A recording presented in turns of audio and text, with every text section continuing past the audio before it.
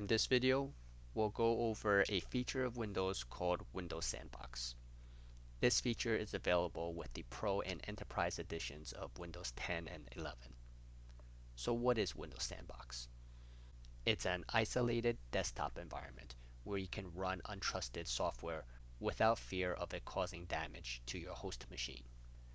The sandbox is non-persistent, so anything that happens in the sandbox environment gets discarded after you close it.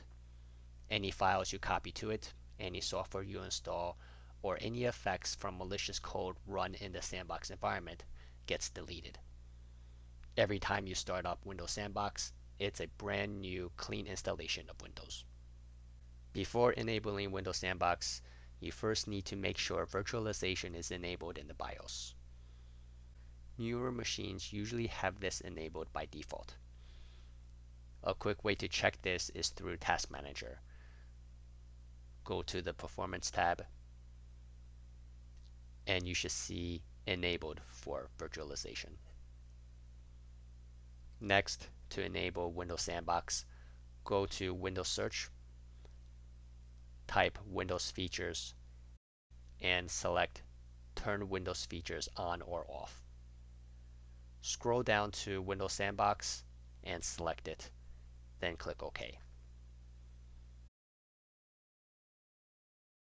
Restart your computer if you get prompted to do so.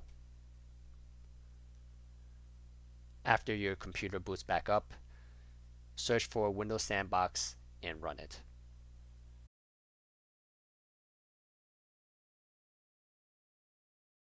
This brings up a clean Windows 11 environment. Copy the executable or script you want to test from your host and paste it into the sandbox. I have a test script here that I'll copy over and run. If the file turns out to be malicious, the harm is isolated within the sandbox and the host machine is not affected. When you're done testing, you can simply close the sandbox environment and the content will be discarded and permanently deleted. The next time you start up Windows Sandbox, it'll be a clean installation of Windows.